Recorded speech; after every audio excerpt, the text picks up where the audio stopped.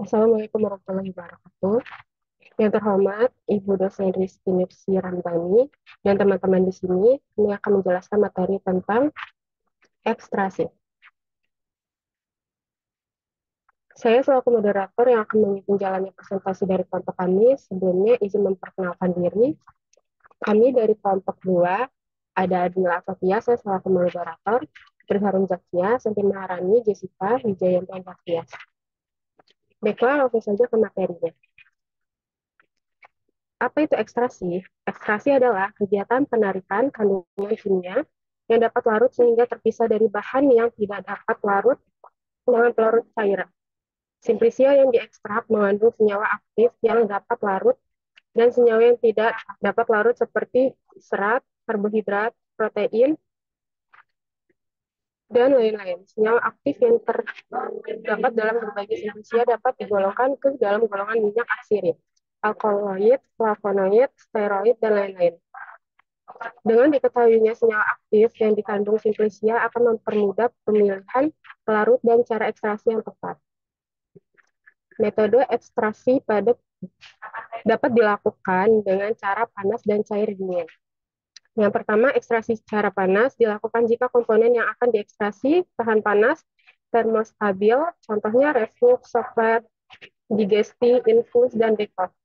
Untuk yang kedua, ekstraksi secara dingin digunakan untuk mengekstraksi komponen yang tidak dapat panas, yang tidak tahan panas atau termo, termolabil. Ekstraksi cara dingin juga digunakan untuk simplisia yang belum diketahui komponennya, sehingga belum diketahui kestabilan komponennya. Contohnya, maserasi. Selanjutnya akan dibacakan oleh Jessica. Untuk Jessica dipersilakan. Baik, terima kasih. Dasar pelarut mengekstrasi berlaku prinsip like this of light. Suatu pelarut akan cenderung melarutkan senyawa yang mempunyai tingkat keluaran yang sama. Apabila kita mengekstraksi senyawa polar harus digunakan polar dan apabila kita akan mengekstraksi senyawa non-polar maka harus digunakan pelarut non-polar. Namun pada prakteknya ekstraksi dilakukan dengan menggunakan pelarut dalam gradasi kepolaran mulai dari non-polar ke polar atau dari polar ke non-polar.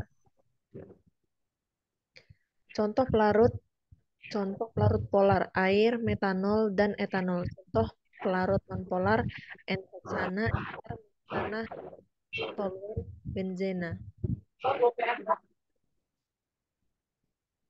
Untuk alat dan bahan, untuk alat eh, mas, pertama-tama maserator, reflux, sonikator, spatula, timbangan, waterbed, gelas beker, aluminium foil, kertas saring, corong, dan cawan.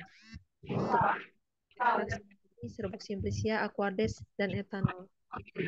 Nanti saya kembalikan kepada moderator. Baik, selanjutnya akan dijelaskan oleh Putri Harum. Putri Harum dipersilakan. Selanjutnya prosedur kerja. Yang pertama, aksi Satu, maserasi. Siapkan alat dan bahan. Maserator, spatula, simplisia, etanol, 6%. Kedua, perkecil ukuran simplisia dengan cara dipotong, tidak di blender. Tiga, timbang simplisia lalu masukkan ke dalam macerator, kemudian masukkan pelarut ke dalam macerator, aduk hingga rata. Perbandingan simplisia dan pelarut adalah 1 per 5 100 gram menggunakan 500 ml pelarut. 4. Macerator ditutup rapat, diamkan selama 24 jam dan aduk sekali. Setelah 24 jam disaring, ekstrak cair yang dihasilkan disimpan di lemari pendingin. Lakukan maserasi kedua, masukkan pelarut yang sama dan jumlah yang sama. Aduk rata lalu diamkan selama 24 jam. Lakukan hal yang sama hingga maserasi ketiga. Ekstrak yang diperoleh dikentalkan atau dipekatkan. Yang kedua, sonikator ultrasound assisted extraction atau UAE. Satu, siapkan dan bahan sonikator simplisia dan etanol 96%. Timbang simplisia sebanyak 100 gram lalu di blender menjadi serbuk lalu dimasukkan ke dalam gelas beker. Tuangkan 500 ml pelarut etanol 96% ke dalam gelas beker berisi serbuk simplisia hingga homogen dan tutup dengan aluminium foil. Masukkan ke dalam bejana sonikator, lakukan selama 30 menit atau siklus. Saring hasil ekstraksi lalu tampung ke dalam gelas beker, lakukan hal yang sama sebanyak dua kali. Ekstrak yang diperoleh dikumpulkan lalu dikentalkan atau dipekatkan. Selanjutnya saya kembalikan ke moderator. Baiklah, selanjutnya akan dijelaskan oleh Santi Maharani. Santi Maharani, persilakan. Yang pertama, siapkan peralatan reflux seperti labu bulat dan kondensor dirangkai.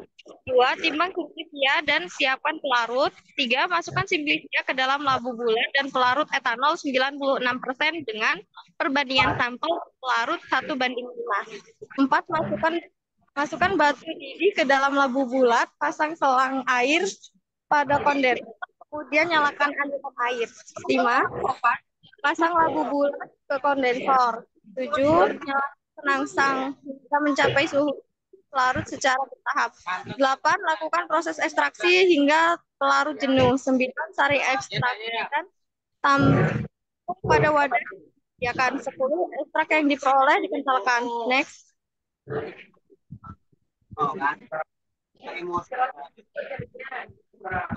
Kokletasi. rangkai alat koklet terdiri dari tabung sifon dan tabung alas dan labu alas bulat, penangsang dan heating, pendidih balik dan kondensor. Dua, simplisia dihaluskan hingga menjadi serbuk di blender timbang 500 gram.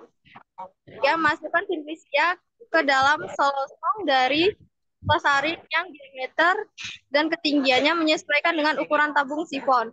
Empat, masukkan masukkan selongsong ke dalam tabung sifon empat. Pertama, masukkan hingga batas sifon dan pelarut turun ke labu bulat satu siklus. Masukkan etanol 96%. Setelah pelarut turun ke labu alas bulat, masukkan pelarut hingga setengah ukuran tabung sifon. Pendingin balik dipasang, dihidupkan panasnya. Amati dan waktunya siklus hingga proses ekstraksi jenuh. Pelarut dalam tabung sifon bening ekstrak yang diperoleh dikentalkan. Terima kasih. Selanjutnya saya kembalikan pada moderator. Baiklah, selanjutnya akan dijelaskan oleh Wijayanti Tias kepada Wijayanti. Saya persilakan. Kelima, ada dekok, siapkan alat dan bahan yang digunakan, gelas beker, tabung ukur, spatula, dan serbuk simplisia. Timbang simplisia dan siapkan pelarut aquadis dengan perbandingan 1 banding 5. Siapkan di bilah aquadis untuk proses pembahasan serbuk simplisia, lalu tuangkan serbuk simplisia dan gelas beker. Lakukan proses pembahasan dengan pembasahan dengan diaduk rata. Siapkan penangas air, tunggu hingga suhu 90 derajat Celcius. Letakkan gelas beker berisi serbuk simplisia di atas penangas air selama 30 menit. Dilakukan penyaringan lalu ekstrak cair dikentalkan. Uh, next, pemekatan ekstrak. Ekstrak cair hasil dari ekstraksi selanjutnya dipekatkan dengan cara diuapkan menggunakan water bath atau penangas air hingga pelarut hilang dan diperoleh ekstrak kental.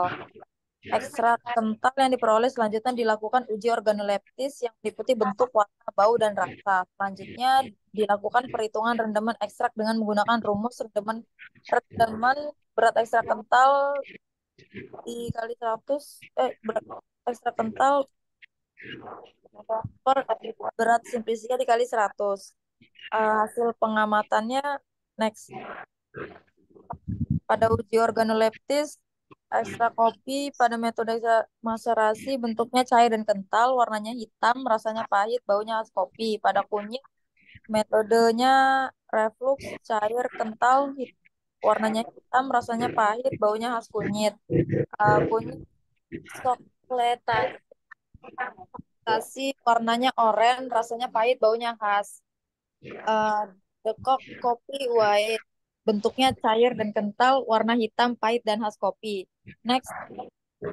Rendaman ekstrak uh, nama ekstrak kopi metode kasih yang kedua kunyit reflux berat simplisinya 10 gram berat wadah kosongnya 24,89 gram berat wadah ekstra saipnya 31,78 gram.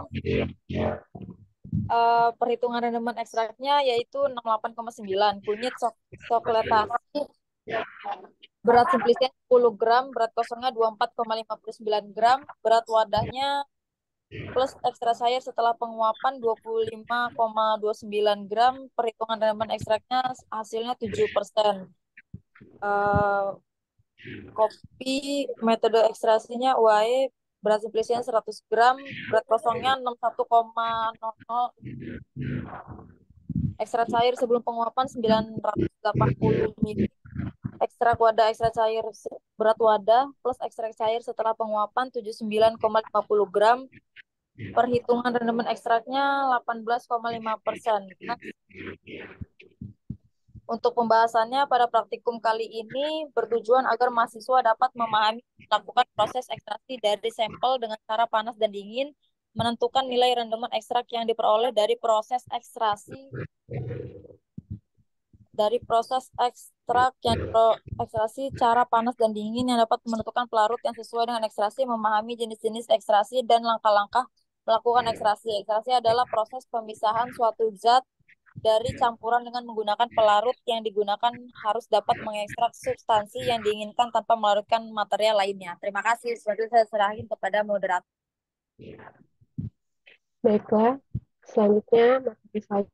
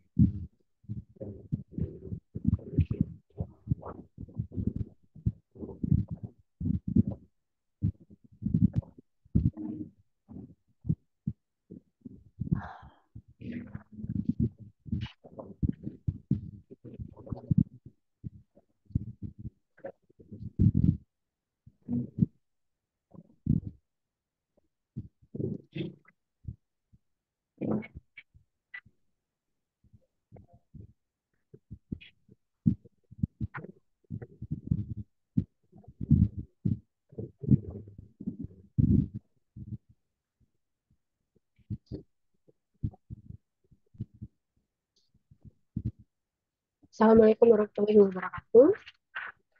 Yang terhormat Ibu dosen Rizky Nifsi Ramdhani dan teman-teman, di sini kami akan menjelaskan materi tentang presentasi screening fitokimia. Saya selaku, selaku moderator yang akan memimpin jalannya presentasi dari kelompok kami. Sebelumnya izin memperkenalkan diri dari kelompok kami yaitu kelompok 2. Ada Adila Fatia, saya selaku moderator, Jessica, Putri Halim Jogja, Santi Maharani, dan Wijayanto Ignatius. Baiklah, kita langsung saja ke sesi presentasi. Apa itu screening fitokimia? Screening fitokimia merupakan suatu metode yang dilakukan untuk mengetahui kandungan senyawa senyawa kimia yang terkandung dalam ekstrak tanaman. Screening fitokimia dilakukan dengan menggunakan reagen pendeteksi golongan senyawa seperti flavonoid, alkaloid, tanin, saponin, terpenoid, dan lain-lain. Screening fitokimia golongan senyawa metabolit sekunder. Senyawa metabolit yang tidak esensial bagi pertumbuhan organisme dan ditemukan dalam bentuk yang unik atau berbeda-beda antara spesies satu dan lainnya. Setiap organisme biasanya menghasilkan senyawa metabolit sekunder yang berbeda-beda. Bahkan mungkin satu jenis senyawa metabolit sekunder hanya ditemukan pada satu spesies dalam suatu kerajaan. Senyawa ini juga tidak selalu dihasilkan, tetapi hanya hanya pada saat dibutuhkan saja atau pada fase-fase tertentu.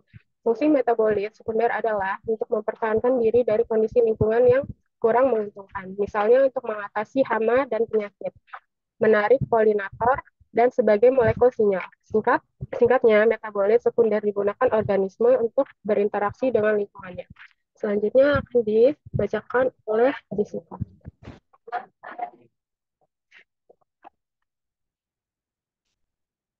Untuk Jessica dipersilakan.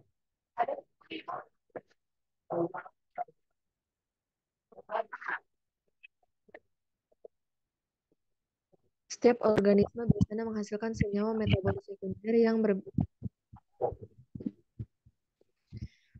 Alkaloid merupakan sebuah golongan senyawa basa bernitrogen yang kebanyakan heterosip dan terdapat di tumbuhan, tetapi ini tidak mengecualikan senyawa yang dari hewan. Asam asam amino, peptida, protein, nukleto, nukleotid, asam nukleik, gula dan antibiotik digolongkan sebagai alkaloid dan dengan prinsip yang sama. Senyawa netral yang secara biokinetik berhubungan dengan alkaloid termasuk di golongan ini.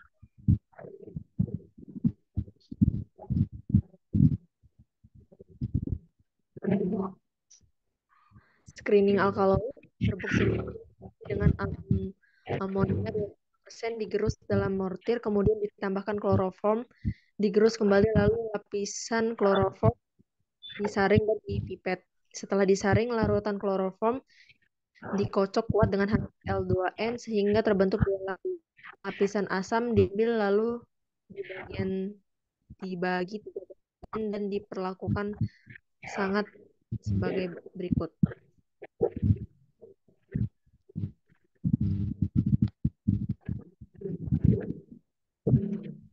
Screening alkaloid bagian pertama digunakan sebagai banding bagian kedua ditambahkan reaksi Mayer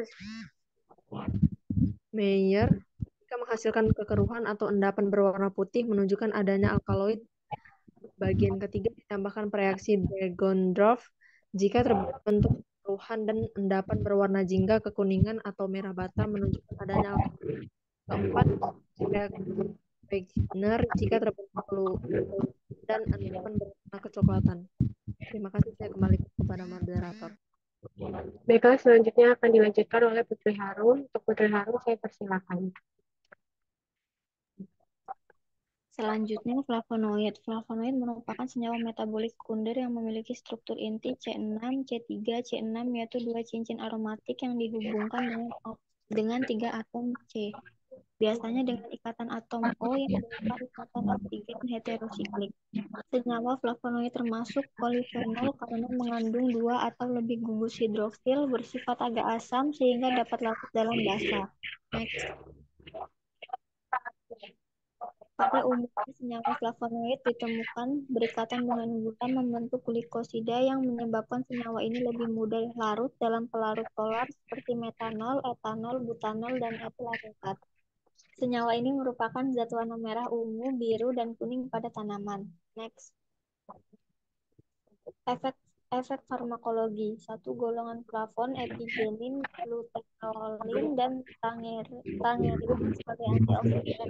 Dua golongan flavonol, quercetin, mericetin sebagai antioksidan dan anti-aging. Tiga golongan flavonol aspartin antioksi sebagai antioksidan dan antiinflamatori. Isoflavor sebagai antioksidan, antioksianin sebagai antioksidan.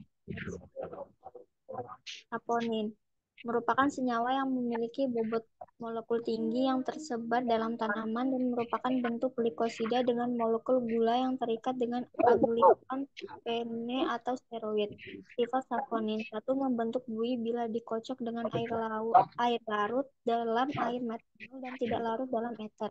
Dua, berasa pahit, menusuk, dan menyebabkan bersin sehingga menyebabkan iritasi terhadap selaput mending. Tiga, dapat mengemolisis darah. Saponin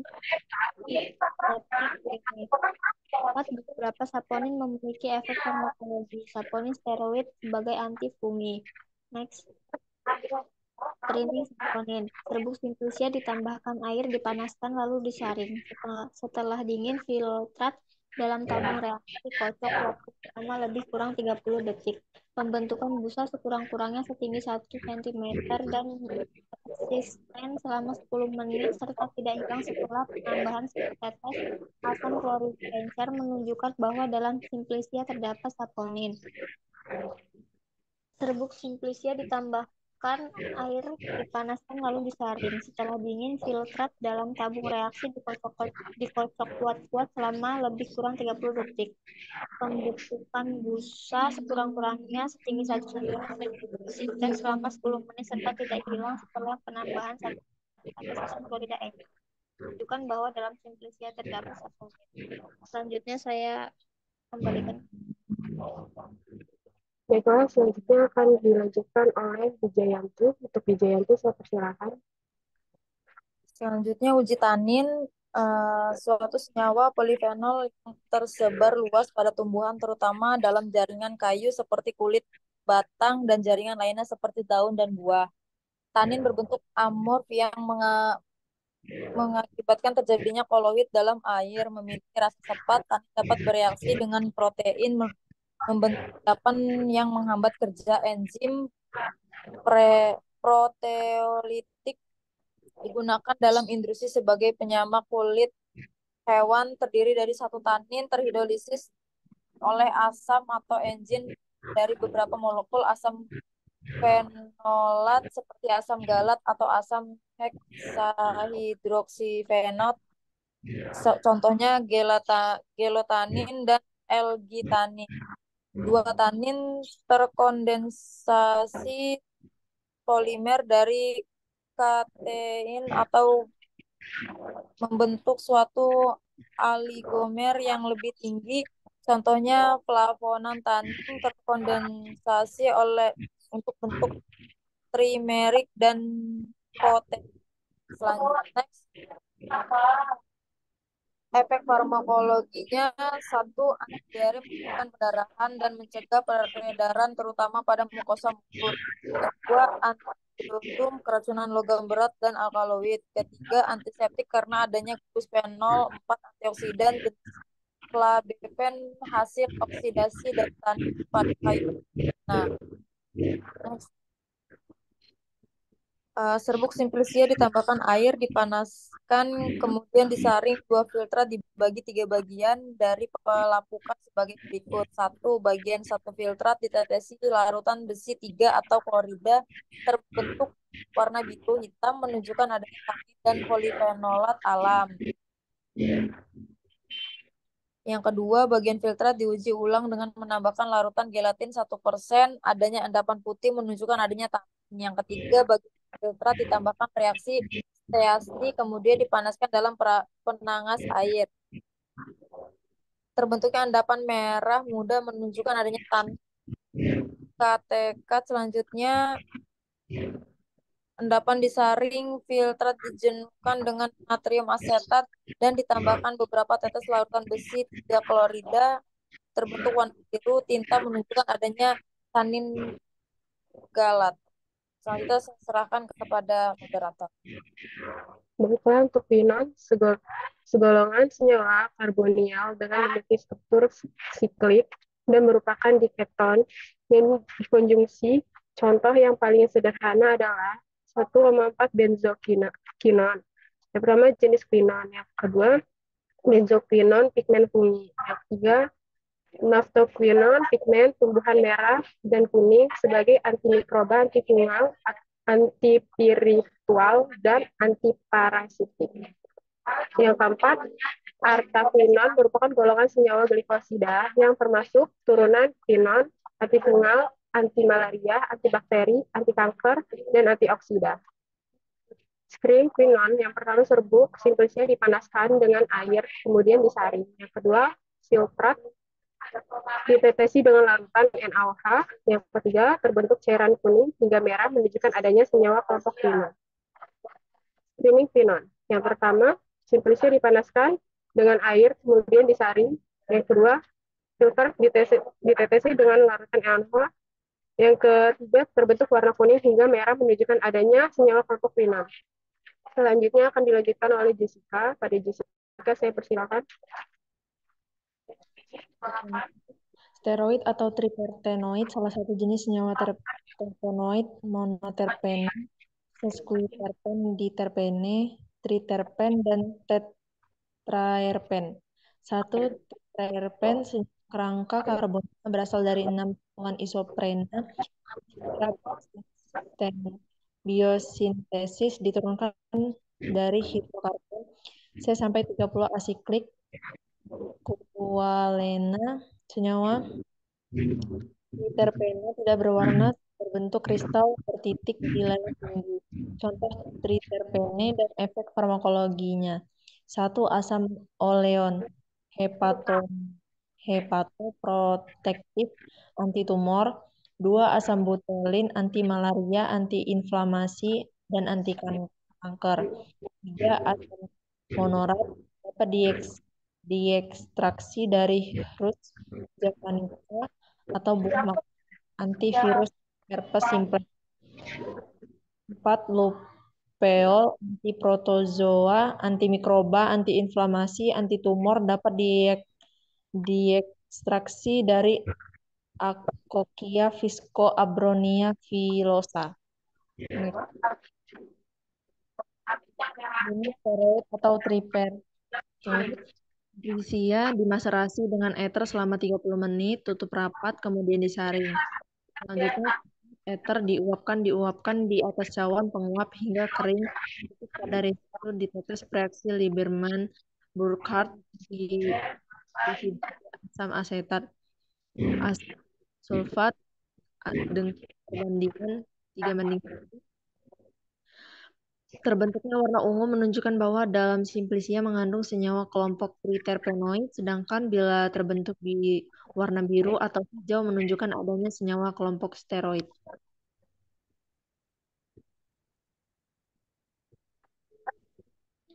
Untuk pembahasan, pada praktik ini dilakukan screening penapisan fitokimia pada ekstrak kopi ada uji sebagai berikut. Pada uji menunjukkan hasil positif karena terbentuk warna merah bata dan membentuk endapan. Pada uji flavonoid menunjukkan hasil positif karena terbentuk warna jingga merah. Pada uji menunjukkan hasil positif karena terbentuknya busa.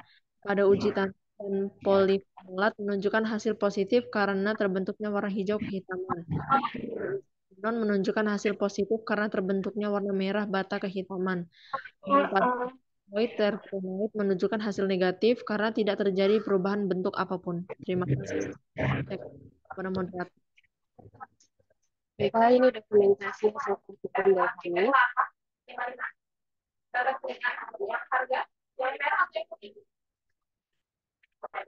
Demikianlah presentasi dari kami. Bila ada yang ditanyakan, saya persilakan.